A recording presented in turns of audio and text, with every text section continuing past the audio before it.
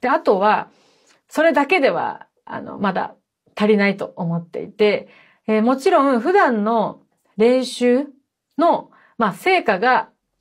自分のメンタルにつながると思ってます。えー、本番で例えば、速い指の動きのところが回らなくなったらどうしようとか、高い音が当たらなかったらどうしよう、音程が合わなかったらどうしようっていう不安、技術的な面の不安はあると思います。で、それをやっぱり、その不安がね、あの、覗かれるのは、自分の中ではやっぱり